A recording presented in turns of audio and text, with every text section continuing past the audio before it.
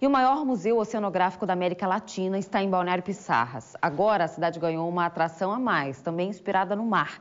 É o maior painel temático marinho do país. A repórter Diana Brocardo esteve por lá para mostrar para a gente essa obra de arte gigante e linda. E quem é o artista também que fez essa pintura. Veja só.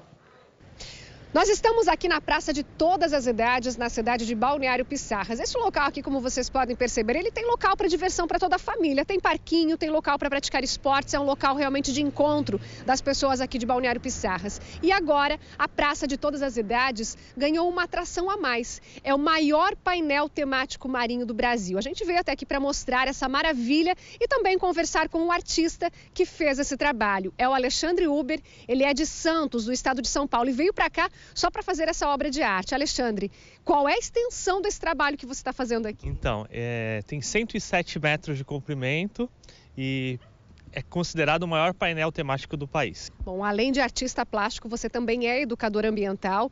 Como é que começou essa tua história, né? Com a fauna marinha, com a natureza, como é que começou tudo isso? Ah, desde criança sempre fiz arte, né? E a partir do momento eu resolvi, em 2009, além de fazer arte, é, dedicar a minha arte para o que eu mais amo, que é a vida marinha.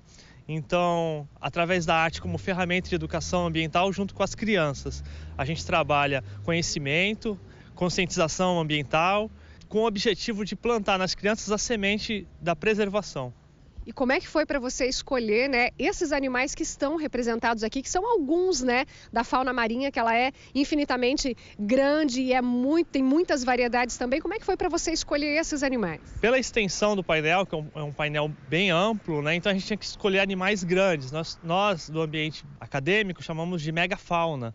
Então escolhemos os grandes animais, né, é, e também os animais que passam pela região, que com certeza em algum momento as crianças ou os educadores educadores vão ter como passar para elas informações.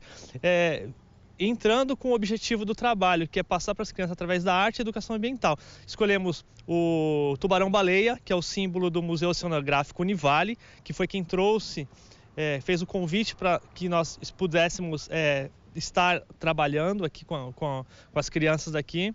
As baleias francas, que são as visitantes ilustres da cidade, do, do estado de Santa Catarina entre tubarões, tartarugas gigantes, que são as tartarugas de couro, tem a baleia orca, que esporadicamente pode vir a visitar também a região. Muito obrigada, Alexandre. Parabéns pelo trabalho. Você aí de casa, ficou curioso para ver essa obra de arte gigante de perto? Vem para Balneário Pissarras, aqui na Praça de Todas as Idades. É só olhar e aproveitar. Que bonito, né? Que bacana esse painel. E olha, gente, uma informação interessante que a Dayana Brocardo e o Alexandre Uber não falaram aí na entrevista é que os desenhos dos animais marinhos são praticamente no tamanho real dos animais. Isso que é o mais curioso, né? Olha só essa imagem aí, por exemplo. É, inclusive a gente mostrou as crianças, né, em frente à raia gigante. Dá para ter uma noção do tamanho do animal de verdade perto da gente.